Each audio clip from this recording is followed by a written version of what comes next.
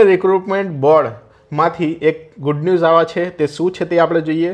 તો railway group ડીની જે ભરતી આવી છે સીઈએન ઝીરો ટુ બે હજાર અઢાર, તેની લેવલ વન પોસ્ટની જે ભરતી છે, તેના વિશે કોમ્પ્યુટર બેઝ ટેસ્ટ એટલે કે સીબીટી તેના માટેની નોટિસ આવી છે. તો તે શું છે નોટિસ તે આપણે જોઈએ. તે એક્ઝામ સ્ટાર્ટ થશે સત્તર નવ બે હજાર અઢારથી. તેમાં એક્ઝામ તમે જોશો તો સત્તર નવ બે હજાર અઢારથી સ્ટાર્ટ થશે.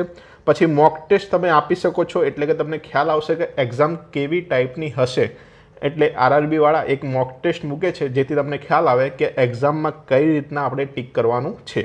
તો તે સ્ટાર્ટ થશે દસ નવ બે હજાર અઢારથી પછી તમારી એક્ઝામ સિટી ડેટ અને શિફ્ટ તમે જાણી શકો છો. તે નવ નવ બે હજાર અઢારથી તમે જાણી શકશો. કેમ કે અમુક વિદ્યાર્થીઓને ઘણી દૂર બીજા રાજ્યમાં પણ નંબરો આવતા હોય છે. એટલે અહીંયા આટલો સમયગાળો આપવામાં આવે છે. કેમ કે ક્યાંક બીજા રાજ્યમાં નંબર આવે તો પછી તેમને અરેન્જમેન્ટ કરવાનું હોય છે, બસનું, ટ્રેનનું, એટલા માટે આટલો ટાઈમ સમયગાળો આપવામાં આવે છે. નવ નવ બે હજાર અઢારથી તમે જોઈ શકશો. એટલે સૌપ્રથમ તમારે જોવાનું રહેશે કે તમારો એક્ઝામ ક્યાં આવી છે, કયા શહેરમાં આવી છે. જો તમારા શહેરથી દૂર હોય તો તમારે ફટાફટ જઈને કંઈક અરેન્જમેન્ટ કરવું પડશે. એટલા માટે આ સમયગાળો આપવામાં આવે છે. પછી એસસી, એસટી કેન્ડિડેટ માટે ટ્રેનની ટ્રાવેલ્સ ઓથોરિટી જે છે તે તમે દસ, નવ, બે હજાર અઢારથી ડાઉનલોડ કરી શકશો અને કોલ લેટર કીટને ડાઉનલોડ કરી શકશો. તો તમારી એક્ઝામ જે હશે તેનાથી ચાર દિવસ પહેલાં તમે ડાઉનલોડ કરી શકશો. ફોર એક્ઝામ્પલ કે સત્તર, નવ, બે હજાર અઢારથી તમારી એક્ઝામ છે, તમે અહીંયા જે એક્ઝામ સિટી, ડેટ અને શિફ્ટ જોઈ, તેમાં તમારી સત્તર તારીખની એક્ઝામ આવી, તો તેના ચાર દિવસ પહેલાં તમે કોલ લેટર ડાઉનલોડ કરી શકશો. ઓકે? તો આ જ રીતે તમારે પહેલાં શું જોવાનું રહેશે? તો તમારી ડેટ કઈ છે? એક્ઝામ સિટી ડેટ અને શિફ્ટ તમારે જોવાનું રહેશે અને તેના ચાર દિવસ પહેલાં જ તમે કોલ લેટર ડાઉનલોડ કરવાનું રહેશે. તો આ હતી પૂરેપૂરી ઇન્ફોર્મેશન થોડીક આગળ જઈએ હવે.